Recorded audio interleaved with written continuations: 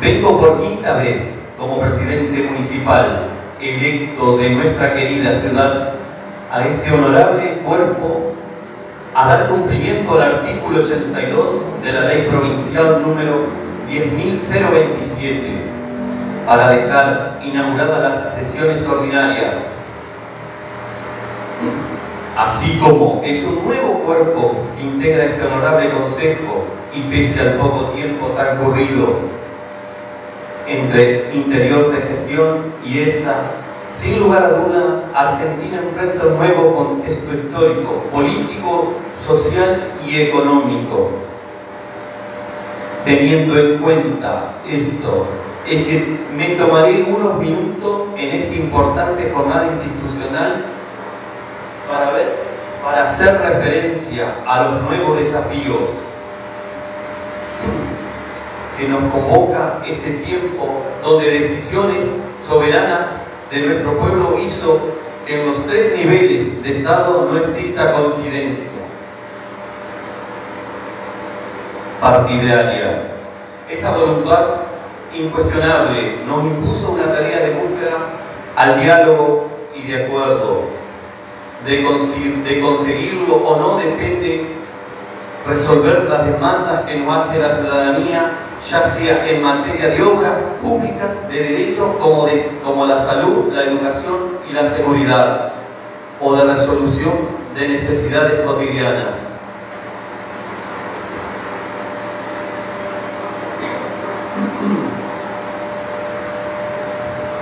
Este nuevo contexto es un desafío que asumimos con el mismo compromiso y sentido de obligación con el que empezamos a gobernar en diciembre del 2019.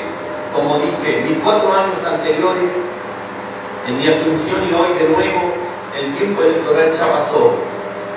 Ahora es hora de las responsabilidades de gobierno y la de oposición.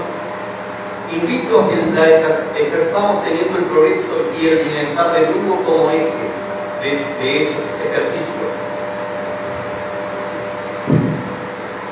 Un gobierno de puertas abiertas no es novedad para nosotros. Hemos hecho de esa práctica una nota distintiva de un gobierno, por eso fortaleceremos aún más todas las acciones que incorporen las voces de la ciudadanía en la gestión, ya sea escuchando las organizaciones o a partir de sus proyectos y de sus iniciativas o directamente a nuestros vecinos mediante el presupuesto participativo. Estableceremos como un pilar de la gestión la articulación entre el turismo y nuestros emprendedores de la economía local. Sobre todo con emprendimiento desde las ferias que organizaremos y promoveremos desde la municipalidad, para dar un marco de oportunidades y posibilidades a esas pequeñas unidades productivas que mejorará nuestra economía local. Pero el turismo no se acaba ahí. Seguiremos concretando opciones desde un enfoque plural, apoyándonos en la potenciabilidad de nuestras bellezas naturales y el río, y con emprendimientos innovadores que se vinculan a lo que se denomina ecoturismo los cuatro años que pasaron, lo que hace a la cultura, la acción pública, municipal, fue muy intensa. Entendimos y aprendemos que es una apuesta a nuestro talento y a nuestras identidades. Y también es la vía para el encuentro social y para el disfrute en familia. En ese sentido, le vamos a pedir a todos los ciudadanos que nos acompañen para que esas acciones no queden paralizadas, llevando a Pueblo Vivo a cada rincón. Le pido ese compromiso en nombre de ellos.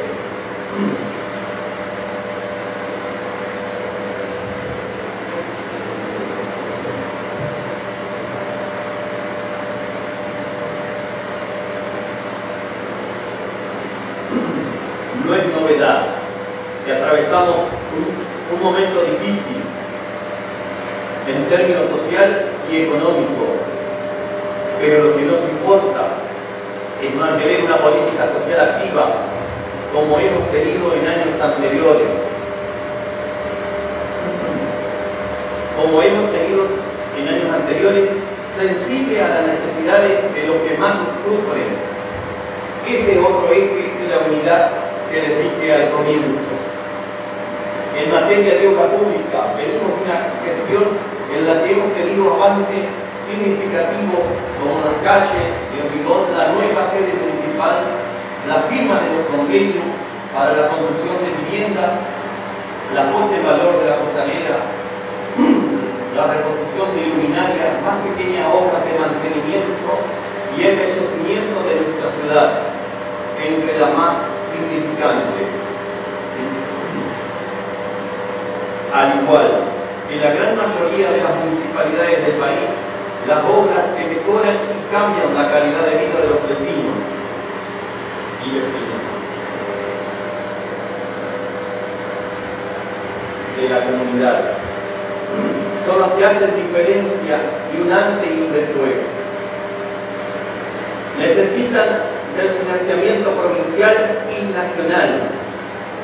Es por eso que pedimos al gobierno provincial y al gobierno nacional que nos tengan en sus planes.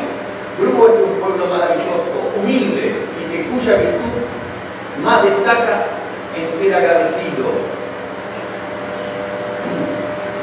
Gracias a una administración ordenada y eficiente, lo cual nos ha permitido tener disponibilidad de fondos propios, seguiremos avanzando en la reconstrucción de la casona y de todas esas pequeñas obras que a diario hacen que un trabajador o trabajadora de la municipalidad estén en algún punto de la ciudad trabajando para mejorarla. Antes de cerrar esta quinta apertura de la sesión ordinaria, quiero agradecer a todo mi equipo de gestión por estar en todo momento con aciertos y errores